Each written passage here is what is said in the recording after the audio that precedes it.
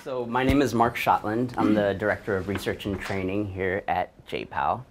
Uh, I've been with JPAL for what feels like my entire life. I joined about 13 years ago, before there was even a JPAL, when it was just a couple of professors here at MIT that were looking to run randomized evaluations in various places. And I met one of them because one of my colleagues was an undergrad with uh, Esther and Abhijit and I, um, that, that, was when I was working in New York. He introduced me. She, uh, Esther, asked me if I would like to move to India to do a an evaluation of a pro an education program that you'll actually see a little bit over the course of this week.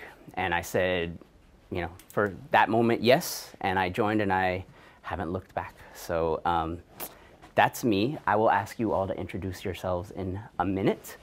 But first, I'd like to say I'm delighted you're all here. Thank you very much for coming. Um, this is this is going to be a fun week. It's going to be a little bit intense in terms of the amount of work we're going to ask you to do, uh, the amount of listening and engagement we'll ask you to, to suffer through. Um, but overall, I think it's going to be fun, and, and if experience is any lesson, um, it'll be worthwhile.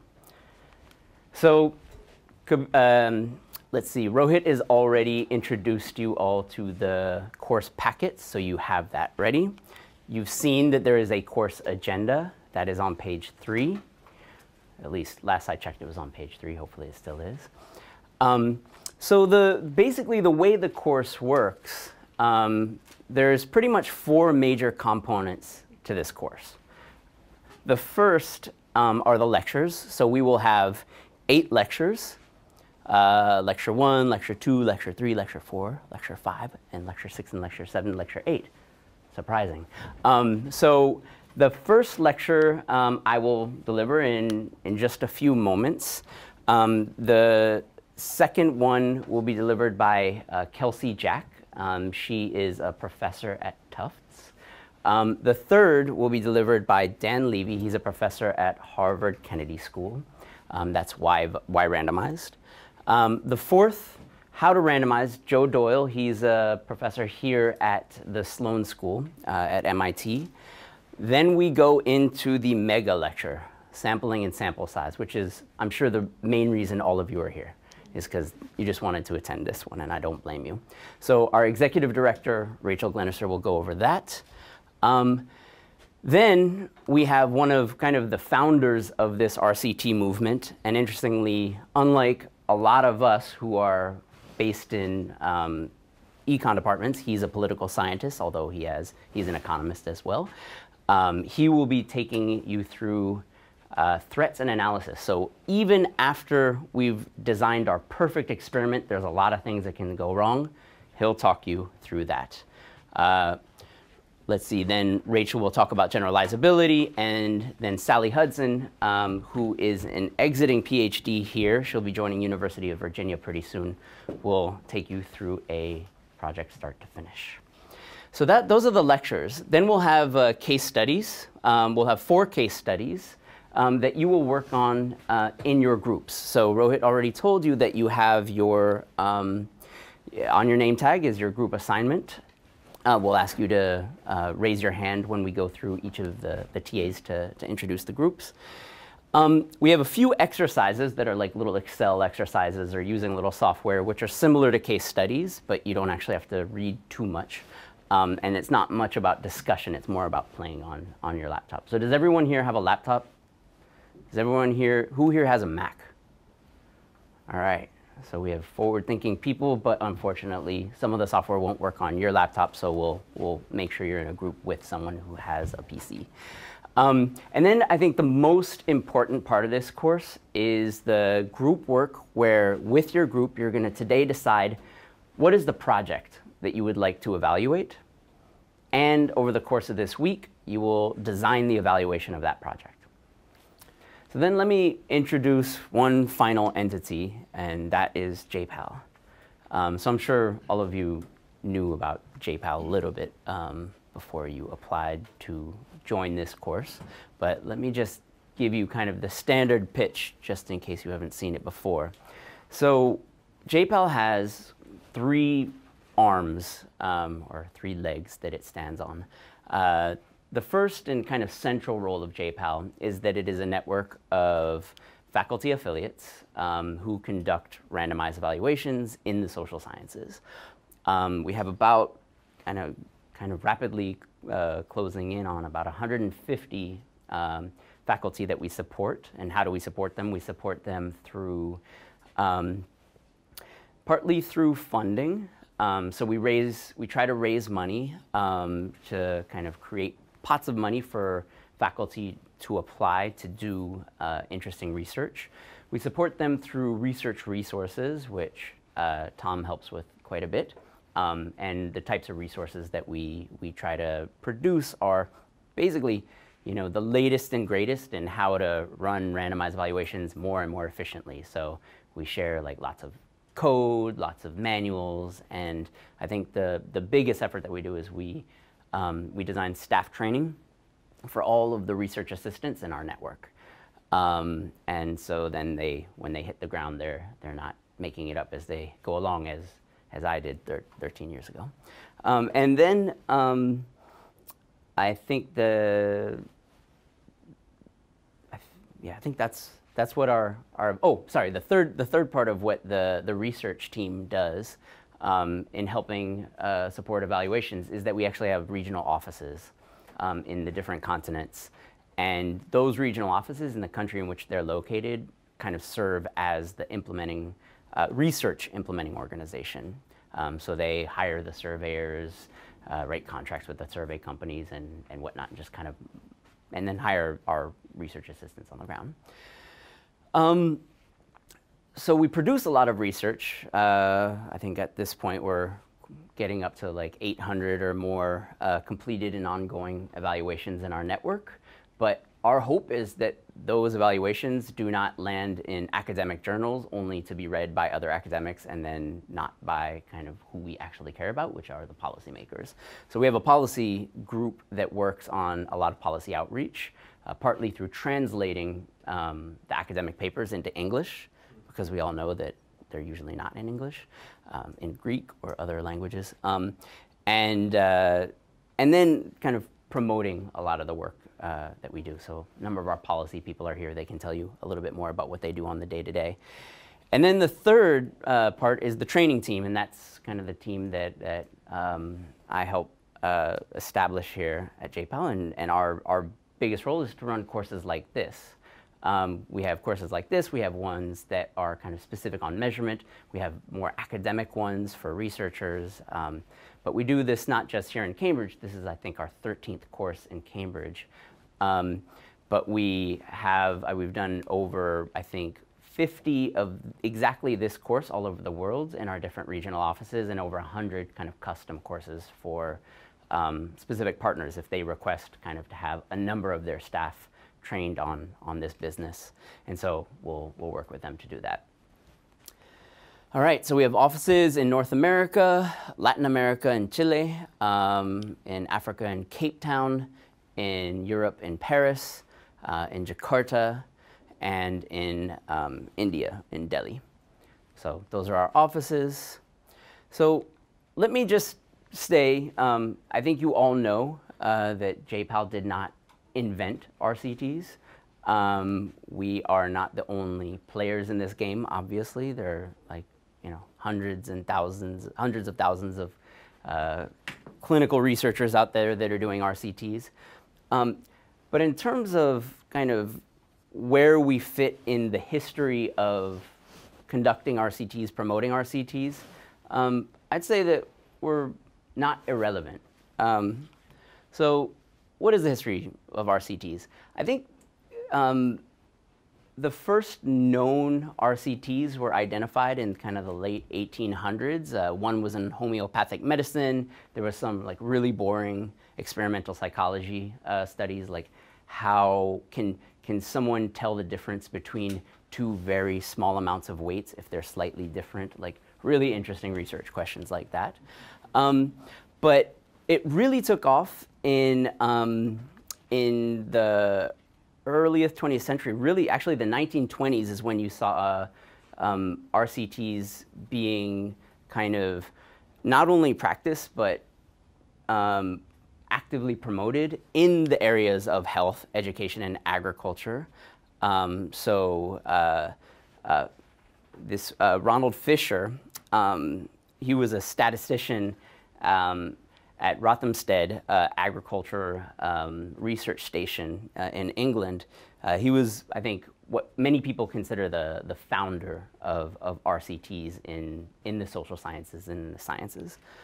Um, so then in the US, we actually saw a huge number of RCTs in the US in social policy. They were not run by academics for the most part. I mean, they are, a lot of them had people that were uh, PhDs, but for the most part, they were kind of government sponsored, um, run by uh, consulting groups. And then we saw a huge uh, surge in experiments in developing countries in the mid 1990s. Now, this says J-PAL. J-PAL didn't exist yet, but many of the people that were running those experiments were then later to become J-PAL affiliates. Uh, I think the, the father of, of a lot of this movement in development space is, is Michael Kremer. Um, he's a professor at Harvard. So then, um, Innovations for Poverty Action was created in 2002. This is by Dean Karlan. He was a, an advisee of Esther Duflo. Um, and they coordinated very closely. So right when he created Innovations for Poverty Action, which was an NGO, which means it could open offices whenever it wanted, wherever it wanted. It wasn't tied to any university. Uh, JPAL, uh, or sorry, the Poverty Action Lab was launched uh, right, right around that same time. And they both have the term uh, uh, poverty action in them, not by coincidence. They were meant to be confusing and, and so people would know that they were kind of tied together.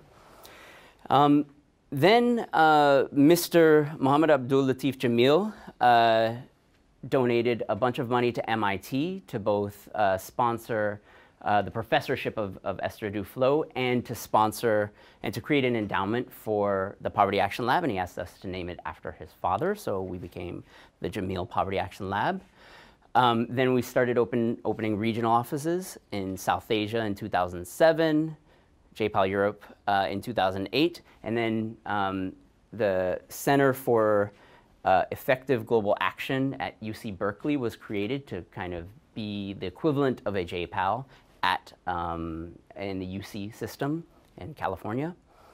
Um, we opened JPAL Latin America in 2009, and then another kind of partner similar researchy type organization, uh, Evidence for Policy Design, was established at uh, Harvard, uh, the Kennedy School uh, JPAL Africa in 2010, um, at which point the Center for Economic Research in Pakistan was established. Um, the director of this and this is the same guy, Asim Khwaja. Um, and then JPAL North America and JPAL Southeast Asia were established in 2013. All right, so we see, we track the uh, kind of the number of RCTs that were in international development, and it wasn't nothing um, in, in the early 80s, and it wasn't nothing in the 90s. But what we see is that when JPAL and IPA are established, uh, there was a huge uptick. Now, this is not a causal claim. Um, we are going to learn about RCTs, and I cannot say that it was that before our JPAL, it was that after JPAL, therefore JPAL is responsible for all of this. Could be that we were just catching the train. All right, so we have many, many evaluations all over the world in many sectors. Um, and that is the end of my introduction of JPAL. We can go into more detail offline. So what is evaluation? So this session, um, I think the, the, there's a couple um, objectives of this session. Um, the first objective is just to kind of motivate why we're all here, um, to, to help I don't know, convince you all that you, you got into this, you got yourself into this for a good reason. Um, and so we'll talk a little bit about why it is that we want to evaluate. Um, many people have actually very different concepts of why it is that they want to do evaluation, and so we'll, we'll try to cover uh, the different perspectives on that.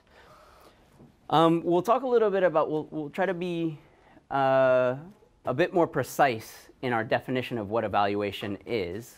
Um, evaluation is a very common term and it means a lot of things to a lot of people. So uh, we'll try to be we'll try to narrow down the definition in terms of what we intend on talking about this week. Um, we'll briefly kind of ask some questions about what makes a good impact evaluation question. And then, um, and we'll spend the most of, of this presentation on this, kind of walk you through the, the five different components of, of program evaluation. And so um, this will all become clear shortly. Okay, so how are policies made? Um, in their book, uh, Poor Economics, Esther Duflo and Abhijit Banerjee uh, say that a lot of policies, especially in developing countries, but also here, a lot of them fail for a reason that they call the, the three I's ideology, ignorance, and inertia. Right? And so the if, if, you haven't read this book, it is an excellent book. I, I highly suggest you get it. Um, we used to pass it out until we had another book to pass out, which is, I think, more relevant for this course. Um, but basically, the, the idea is pretty uh, self-explanatory. Um, some people make policies just because they they believe it and it fits with their identity of, of kind of their where they are on some political spectrum. Um, some people don't want to bother changing ineffective policies just because it requires work. Um, and I think what we'd like to say is ignorance is a strong word, um, but the fact of the matter is that there's not a lot of good, hard evidence of which policies are working. And so it's hard to kind of promote or take down, promote an effective policy or take down an effective pol ineffective policy if we don't know which of those are actually effective. So putting your head in the, your, yourself in the head of a policymaker, and many of you are policymakers, so we like to kind of separate the world into um, the world of policy making. So this is the, the Poor Economics talks a little bit about why policies fail and then goes through a lot of evidence of which policies seem to be showing promise um, and, and gives some good frameworks for thinking about that. But in terms of when you are making a new policy, what, are the, what is the thought process that, that you go through? Is it, you know, you basically have an opinion of what works, of the way the world works? Um, is it very subjective? Or is it more objective? Is there kind of an evidence-based model? Do you have either like scientific, rigorous quantitative evidence? Do you have non-rigorous quantitative evidence? Is it more qualitative evidence from research or is it more just kind of based on the experience, intuition, impressions? Um, or is it, you know, uh, expediency, um, whatever is kind of politically convenient? So I'd like to ask you, I mean, these are kind of like the, the various reasons why policies are made. I'd like to ask you, how do you think policies are made? Now, now just, I don't necessarily mean this as kind of a, this is more of an opinion question, and this may be based on your experience in your position, previous positions.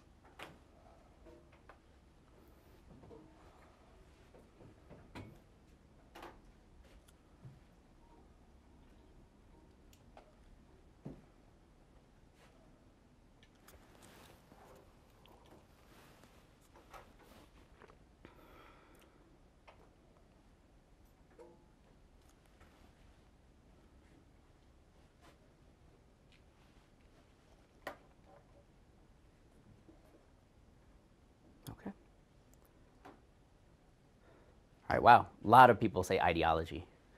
Um, I wonder if all of you are from the US. Um, who said that? I don't know. Um, does anyone want to share their thoughts and, and what they're thinking in, in terms of, of why they chose the, the option they chose or the options they chose? I can pick on someone randomly. Yeah, David. I chose B. I see a lot of decisions that are made in this city, city specifically um, that have a lot to do with historical experience of um, decision makers and parties, etc. Um, but also my, you know, nonprofit world, I see a lot of uh, E as well in um, financial resources and constraints. Yeah. Now, is that is that a problem that it's based on experience? Not necessarily. Not necessarily. Yeah. Yeah. I mean, I think it would be naive to expect that everyone shuts their eyes until someone put it, put some hardcore evidence in front of them. They open it and then make their decision. Obviously, that is just one of the inputs that should go into the policymaking process. All right. So next question now let's talk about producing evidence, producing some of the evidence that, that should go in, that we think should go into making policy. Who should make that evidence? Who should produce that evidence?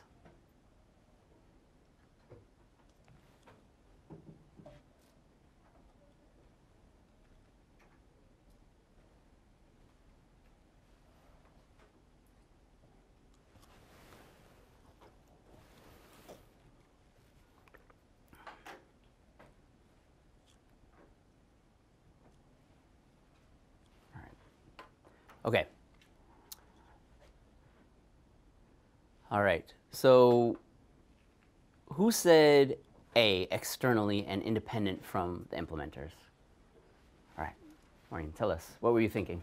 Um, well, I think that's ideally how it should happen, because I think that would be the cleanest way to get a picture of whether it's working. I think the way it really happens is B or C more frequently. Um, and I think that if you're too closely integrated with the program implementers, you're gonna be influenced by that. Fair enough.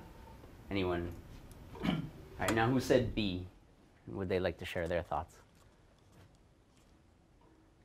I can go back to David, or I'll go to Henry. Just to, especially when if you're having the opportunity to help design a program and embedding that culture of evaluation and, and the right metrics, the capacity of tracking the right metrics uh, is essential. If you don't if you don't set it up in that way, you're not going to be able to evaluate rigorously. yeah. Any other thoughts? Yeah. something to have an impact afterward, it's not closely integrated, you don't have the buy-in from the implementers of the program itself, it's not gonna inform any decisions moving forward. Yeah. So I think both of these are totally correct. I think it's very true that the more closely integrated you are, the more likely that you as if you are an uh, independent evaluator and you are but you are closely integrated with the group, you will be influenced and, and you will be kind of motivate you you get to know them, you want their program to work, you're people, you have a social interaction with them, you maybe feel the need to kind of if you find that your first run of the analysis shows that the program didn't work, you may be influenced to try it looking at it a few different ways until you find something that works because you've been there and you feel that it actually works. So I think there is a big concern that the more closely integrated you are, the more um, uh, the more likely bias might creep in.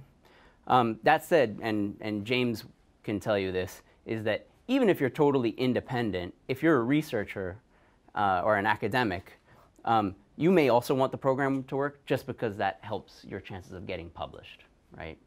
Um, and you know that may be conscious, it may be subconscious, and um, and it's just the reality of incentives, right? And so if you know that you are going to get something published, if you find a giant impact, you may stop going through iterations of analysis once you find that impact.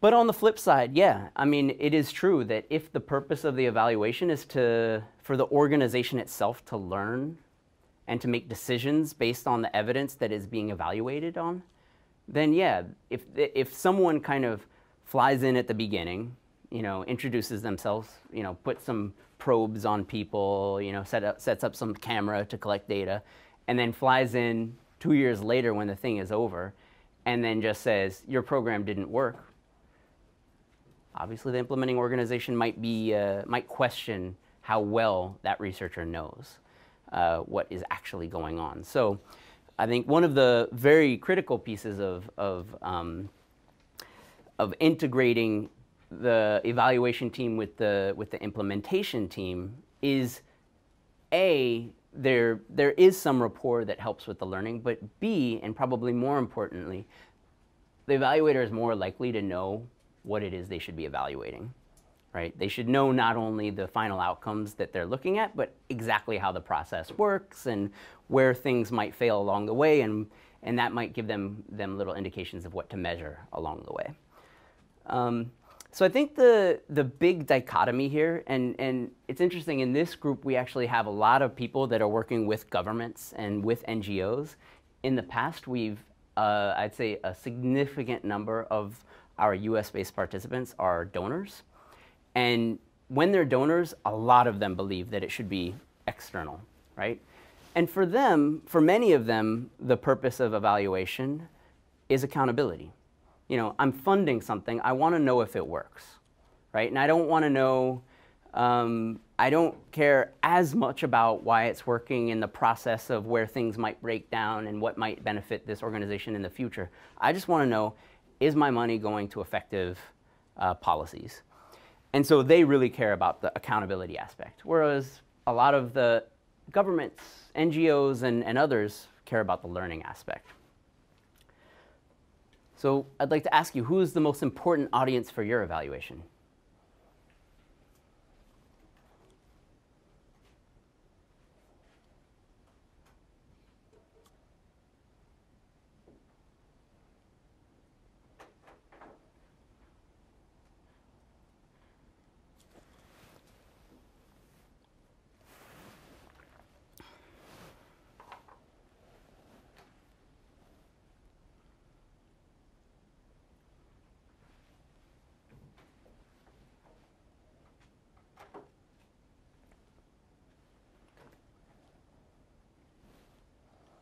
So a lot of you are politicians and policymakers, and I think I think that uh, or that was your response, and I think that reflects I think the audience is that when you're working with governments, a lot of times these are the people that are making the calls, I guess.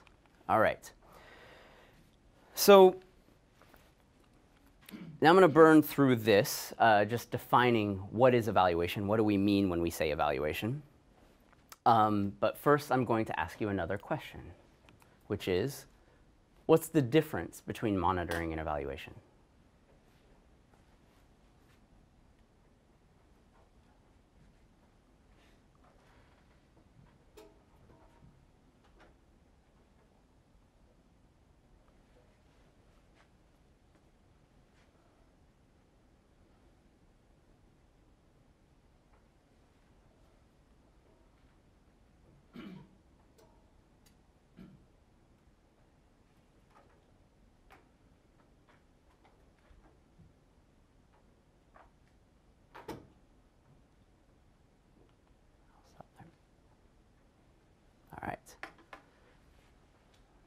Okay.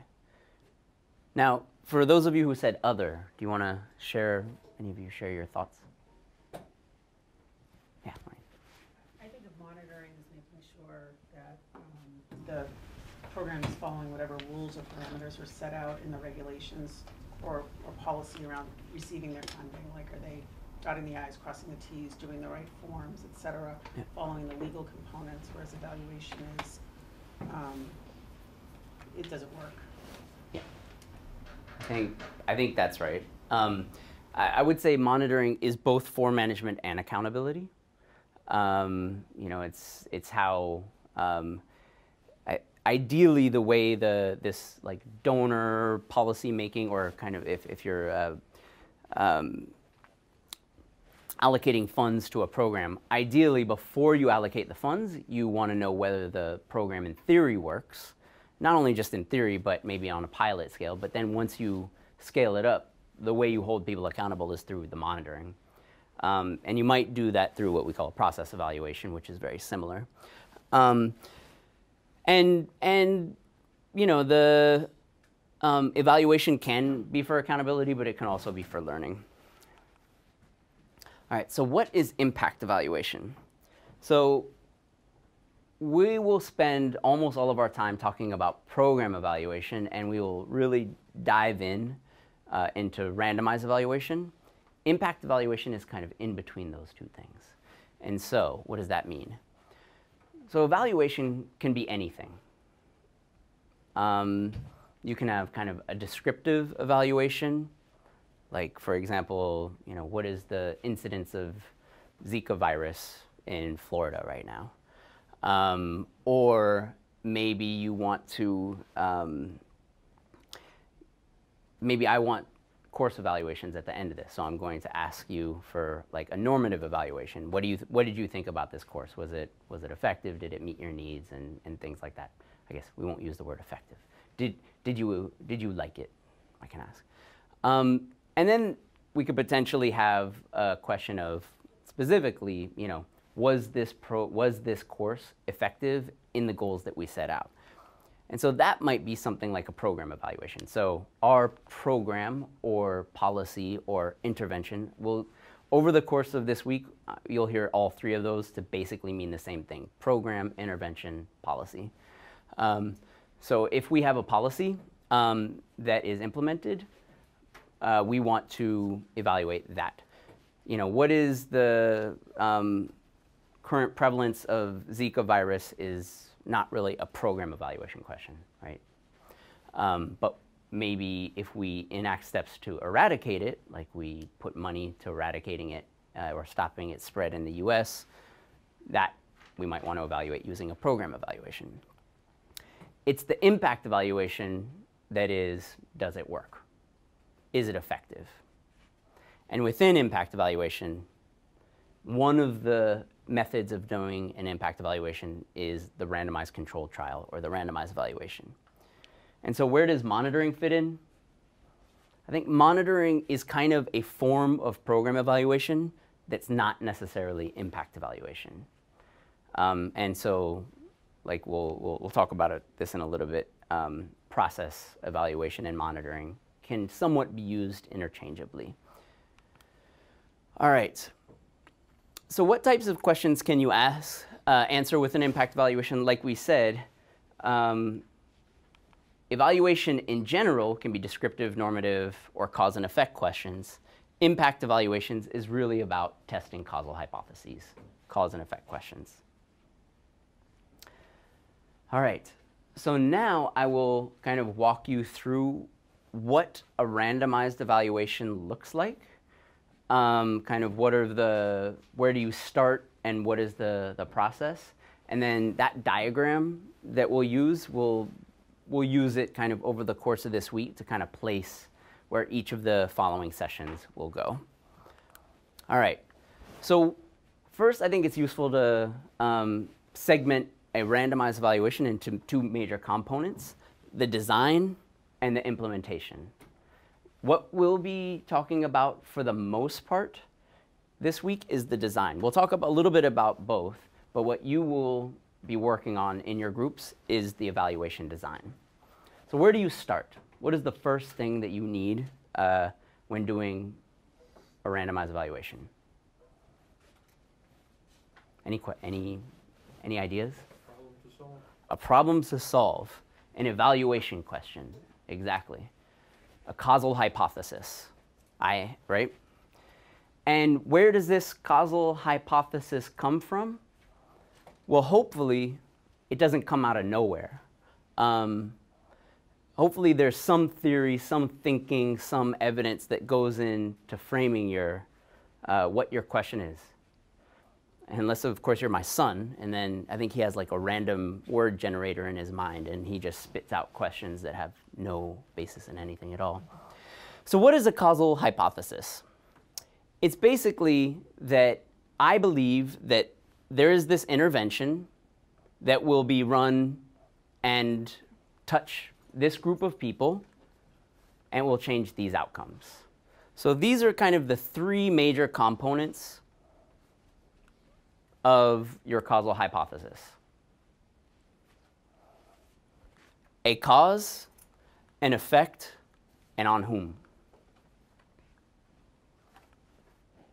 So when you're doing a randomized evaluation, I hope that your target group is going to be the sample that you will be kind of tracking over the course of this evaluation.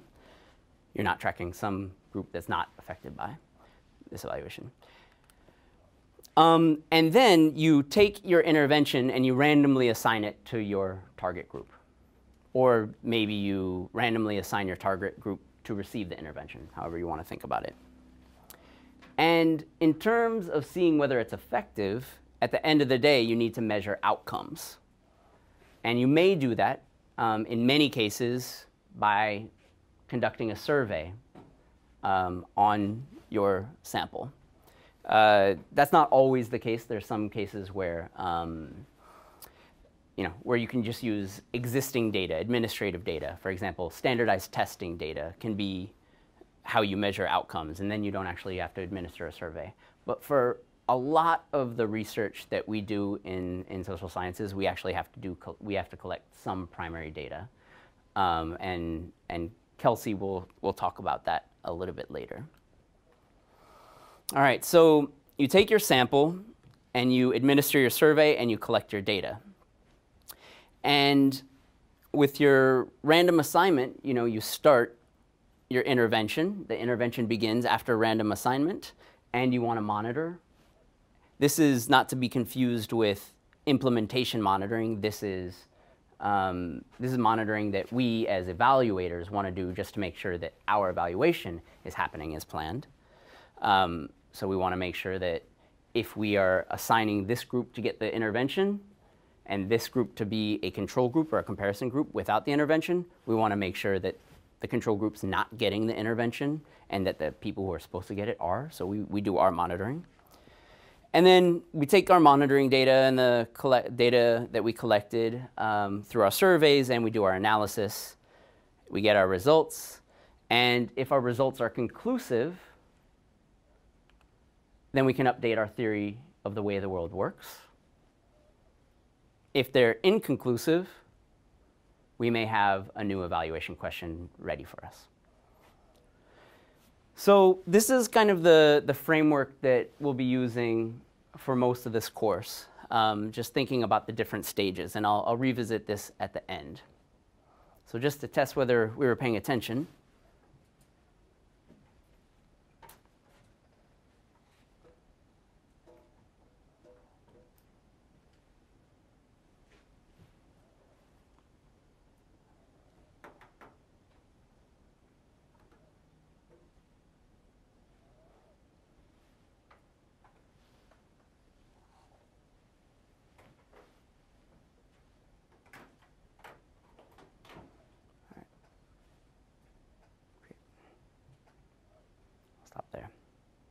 Right, through the theory of change. So in theory, I guess it could be through the evaluation question, um, but yeah, basically, once we get the results of our evaluation, we now update or confirm our theory of change. All right, so now um, let me actually skip this. Um, how do we increase school participation? Um, government wants to increase participation. I won't ask you guys because we don't have much time left. But of course, it won't let me finish. All right. So, so the options were, you know, one way we could increase school participation, enrollment and attendance is through textbooks, free lunch, free school uniforms. Um, we can in treat intestinal worms if they have it. That's not so much a problem in this country anymore. Um, it was in the South about 100 years ago.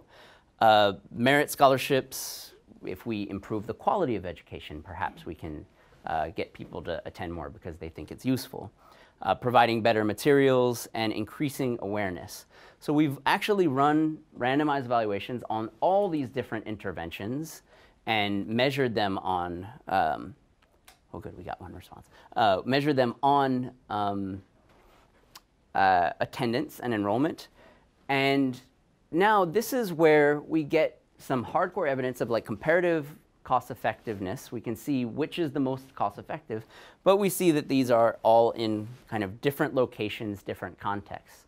So now we as decision makers have to decide, you know, if you provide information on the returns to education, how much you know, each additional year will improve your income on average, um, we find that that is a very cheap intervention in Madagascar, and it actually, this doesn't mean it increases education 40 years for one person, uh, or enrollment 40 years for one person, but kind of spread over many people. Um, for every $100 spent, so that means if each person, each child ended up going to school one year longer, um, that means we probably uh, we're spending about two dollars a person. So, um, questions? Yeah, I, I I just wonder. Yeah. It somehow, you know, seems to suggest that, uh, you know, if you look at this chart, one works, the other doesn't. But Right. isn't the reality that it just, you know, it worked in Madagascar or deworming works in a world where worms are the issue, right? But you know, so isn't it hugely, co- hugely contextual?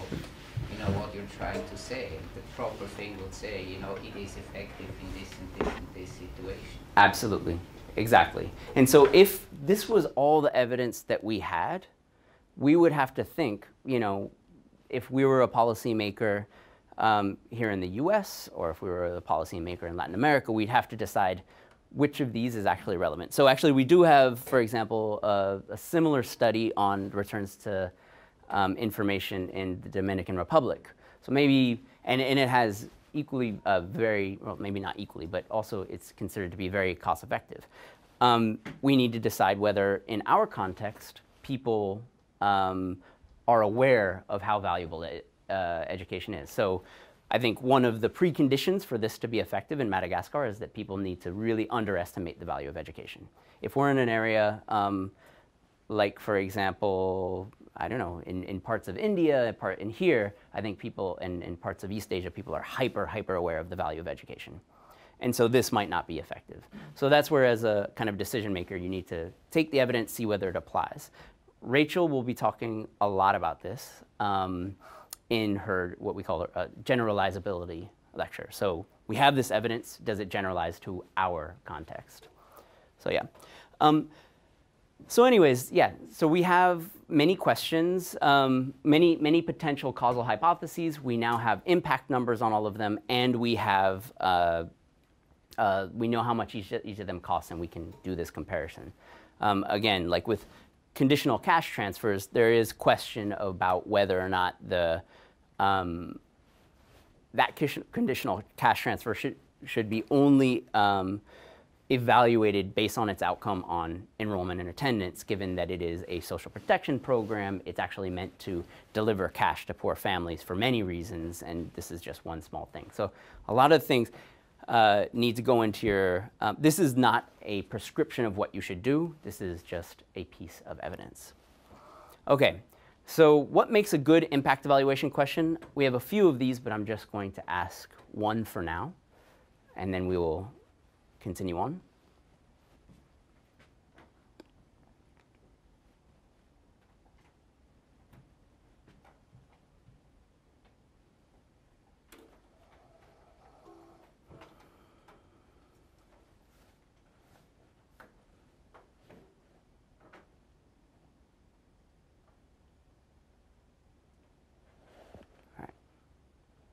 Correct. This is a causal question. All right, so I don't need to go through the rest.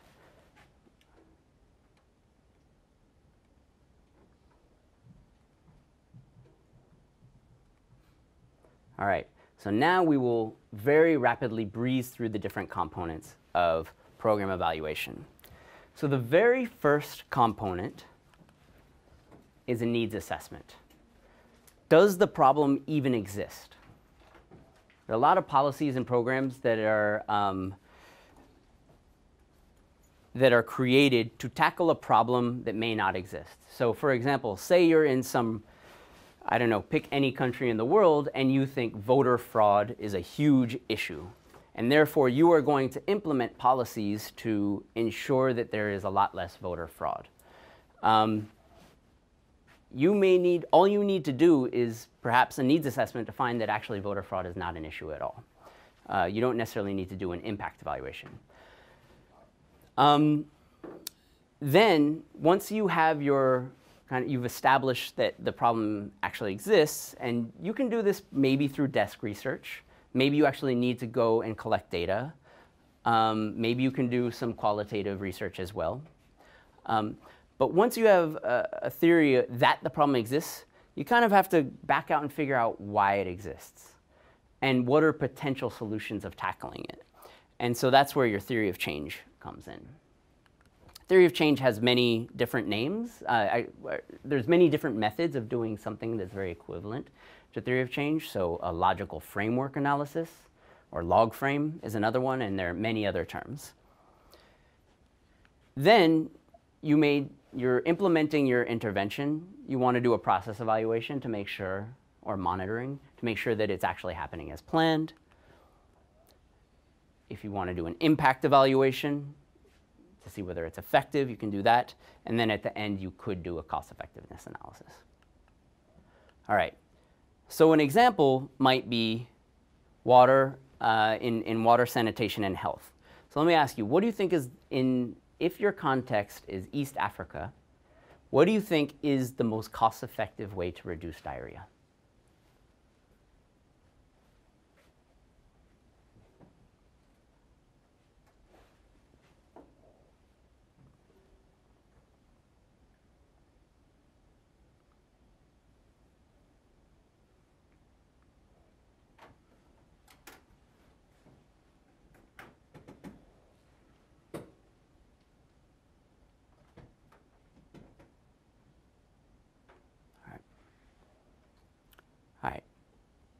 Increase the supply of and demand for chlorine. Okay, that's the, the most common response.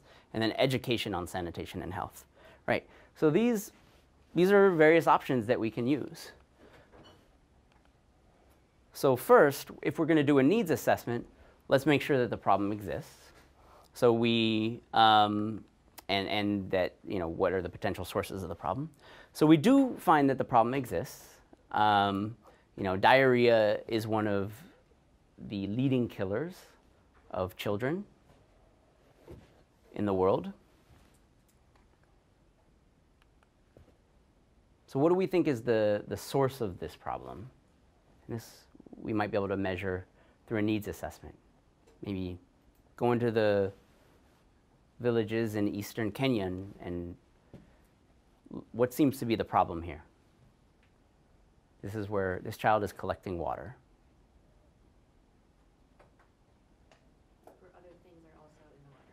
There's other things that are in the water, and there's really nothing stopping these other things from getting in the water. So, you know, people things could be flying in. You can tell that there's, you know, water could be running in through you know, who knows where the water, the rainwater is coming from. It could be going through um, agricultural areas, which are maybe fertilized by organic fertilizer like feces and all that kind of E. coli is getting into the water. So that is a potential problem. So we can see that there is a clear source of a problem here. All right. So now we have our theory of change of how we might fix it. Let's, what happens, um, let me quickly go through this. Here's a potential way of stopping stuff from leaking into the water you can encase your spring in concrete and create a pipe so that you know the child is not dipping his hands into the water to pull out water and if his hands have you know fecal matter on it then it's not infecting. Here it's just coming through a pipe. So this is one potential solution. But there are other potential solutions. Maybe the issue has to do with hygiene or lack of chlorine or lack of knowledge about washing your hands. Maybe it's maybe that water isn't actually as polluted as we think right?